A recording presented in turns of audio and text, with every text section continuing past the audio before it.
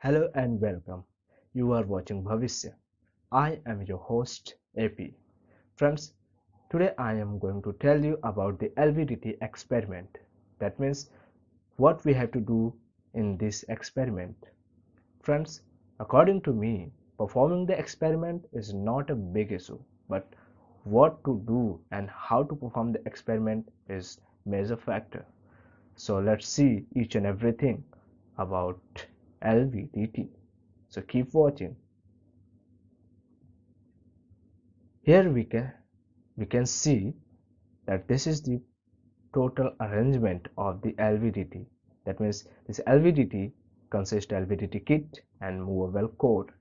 This LVDT stands for linear variable differential transducer or you can say that it is the linear variable differential transformer.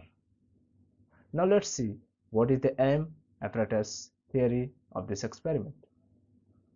So, the aim of this experiment is study of displacement characteristic of LVDT in AC and DC. That means you have to make two observation table and you have to determine AC and DC mode both. Apparatus required for this experiment is LVDT kit, CRO and wire. The circuit diagram is shown here. Friends, I will suggest you that before going to perform this experiment, prepare your theory. Now, here with theory, advantage, disadvantage and application and procedure all are provided. So you can refer from here also or you can go for Google. Now let's see what is the actual connection for AC part and after that we will see for the DC part. So friends, this is the main part for AC observation. Okay. Now connect this both terminal, this both terminal and from here B are both connected to each other. You can connect here to here or here to here but I suggest connect here to here. Now this AC A and C are for the your output terminal. And from here to here you can connect your input terminal. This amplitude adjustment is given. So by using this knob you can vary your amplitude. So first vary this knob and observe your suitable out suitable input frequency at a CRO now for both CRO knob connect one knob connect for the input and another knob for the output. Remember this input and output this input and output of observation table or observation is more important for your phase i will going to tell you what is the phase first let's see this connection. After connecting this you can see here the connection of for the AC part. Okay. Now after connecting the AC part move the core from maximum 20 to 0 and 0 to minus 20 and note down the reading.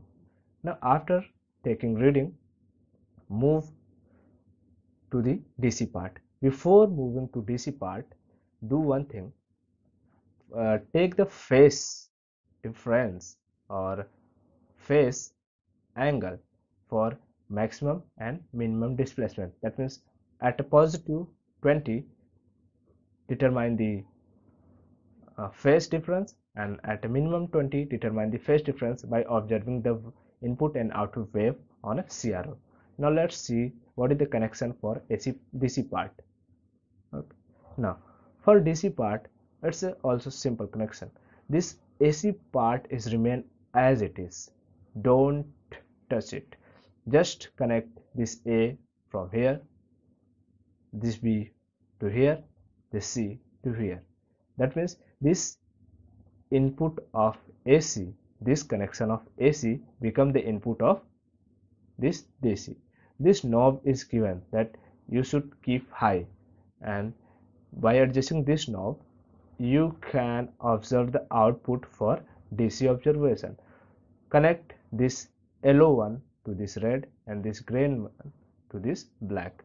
And now you can see the observation. The same procedure for the DC also. Move the core from plus 20 to minus 20 here by taking observation you have to make the graph. Okay. Now you can see here this is the displacement in mm 20 18 16 to till minus 20 and this output for AC part and this output is in volt. But output for DC is in millivolt. Remember this thing. Okay. Now this is the formula for phase shift. Phase shift if you don't know how to determine the phase shift then I will provide you a next video and to how to determine the phase shift. For learning phase shift you can uh, you can watch my video. Okay. Now after taking the reading you have to make the graph and the graph shown like this. And the phase shift is required because for AC you can see here your graph is like this. That means its phase difference is perfectly 180 degree that means you are from 0 and it is opposite.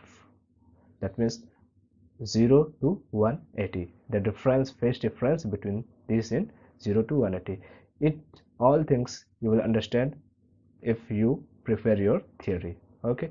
This is the DC characteristic graph and this is the AC characteristic graph. So calculation part is that much that you have to determine the phase shift and after phase shift you have to determine the phase angle now result of this experiment the displacement characteristic of LVDT studied in AC and DC mode. The displacement range of this device is 0 to 20 mm and if you go beyond the 20 mm the linearity property of LVDT disobeyed okay friends? So we're glad to help you. Thanks for watching our videos and keep learning keep helping. Because i help you. That means bhavish help you for helping the others. So keep learning keep helping. For more info subscribe our channel